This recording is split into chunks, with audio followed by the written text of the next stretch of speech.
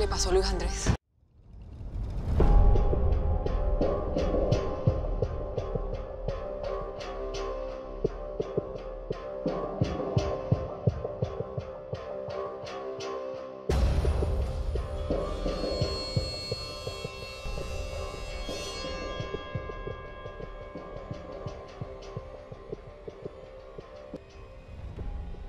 In this episode of Planet Insomnia Mystery Channel, we will examine what led to this tragedy and what Netflix got right about the case. What started as a fun Halloween night of partying with friends ended in tragedy and became one of the most controversial murder cases in Colombia. This story recently became a Netflix series titled Crime Diaries Night Out.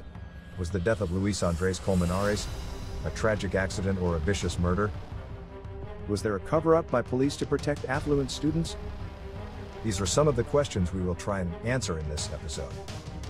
Halloween night. On October 30th, 2010, Luis Andres went to a Halloween costume party at a nightclub in the popular Zona Rosa in Bogota with his date, Laura Moreno, as well as Jessy Quintero, and several other friends and classmates. According to the two girls, Moreno and Quintero, they left the party around 3.15 a.m. Luis was allegedly very anxious and he left the club and went outside. Jessy and Laura said they followed him and that Luis claimed he was hungry, so the three of them went to eat while the rest of the group got Laura's SUV from the parking lot. Moreno and Quintero later told law enforcement that, after buying a hot dog, all of a sudden Colmenares started to run like crazy towards El Virrey Park, which was about 10 minutes walking distance from the hot dog stand. Jessy Quintero allegedly stayed at the hot dog stand waiting for her friends, while Laura Moreno followed Luis. According to Laura, after she tried to stop him several times, Luis jumped into a drain located at El Virrey Park. She also said he fell probably because it was dark and didn't see the ditch. Jessy said that Laura was frantic and told her that Luis jumped into the water channel, which was less than 50 centimeters deep or 19.6 inches, and that she was unable to see him anymore. Supposedly, the group of friends met Laura at the park and started looking for Luis. After a couple of hours of searching and not finding him, they asked the police for help. They also alerted Luis' family and a formal search began. Oneida Escobar, Luis Andres' mother, went to the park to look for her son at 6 a.m. after Laura and Jessy called Luis' brother.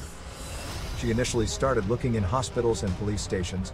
In the meantime, the police and firemen were conducting an exhaustive search around the area without any results. Around 6 p.m. on October 31, 2010, Oneida Escobar begged the fireman and police officer to search again in the ditch, where they believed Luis had fallen.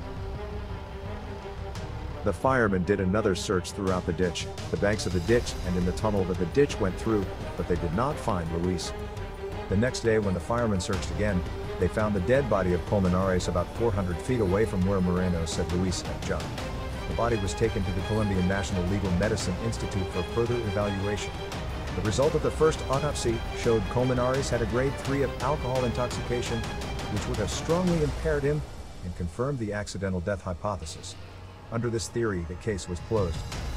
However, the Colmenares family never accepted that theory. According to the autopsy performed at Instituto Nacional Institute of Legal Medicine, Luis Colmenares suffered a violent death. A second autopsy by Maximo Duque, former director of the same institute, hired by the Colmenares family and research done by prosecutor Antonio Gonzalez concluded that the body had eight wounds, none compatible with a fall. Arrests in October 2011, Laura Moreno and Jessy Quintero were arrested, accused of perjury and covering a crime. According to the prosecutor's office, there is strong evidence that allowed them to infer that these two young women participated in the murder of Luis Andres Colmenares. In June 2012, Carlos Cardenas was charged with Luis Colmenares' murder and detained after several witnesses declared that they had seen Carlos attack Luis Colmenares. Carlos was the ex-boyfriend of Laura Moreno and prosecutors tried to make the case that Carlos killed Luis in a moment of jealous rage.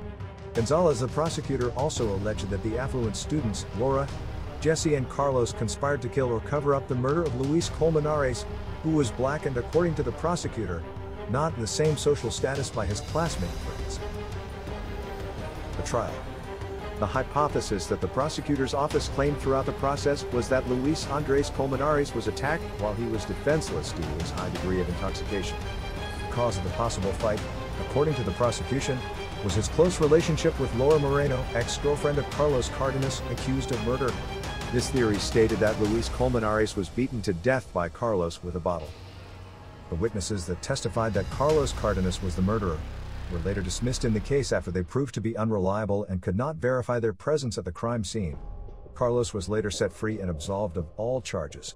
After the scandal with the false witnesses, Gonzalez, the prosecutor resigned from the case. Gonzalez alleged that higher powers and corruption were involved in destroying his case. In the case of Laura Moreno and Jessy Quintero on February 20, 2017, the judge absolved them of all responsibility for the death of Colmenares.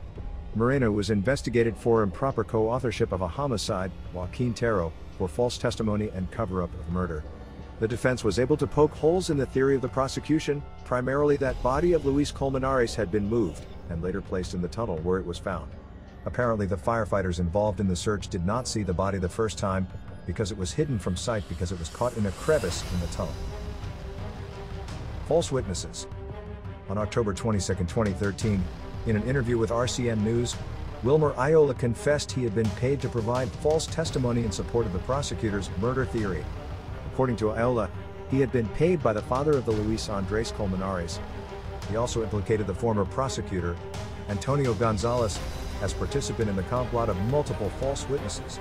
Many people paid for this, friends of Gonzalez, friends of the Colmenares family. Every witness was on the payroll.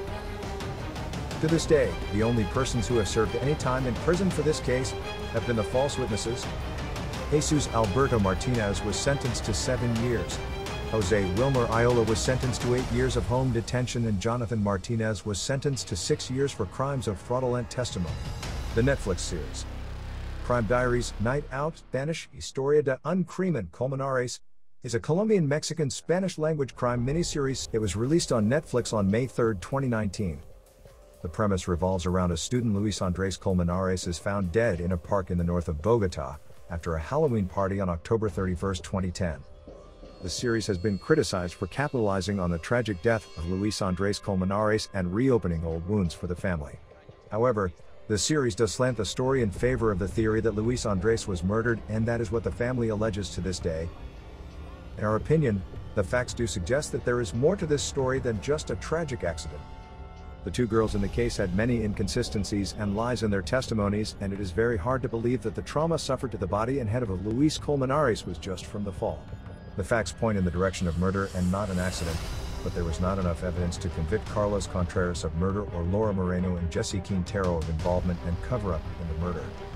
Justice is not always final nor conclusive, and sometimes there is no closure for parents who have lost a child. Thank you for watching this video. Don't forget to subscribe if you haven't done so. Please leave us a comment and like and until next time, try and get some sleep.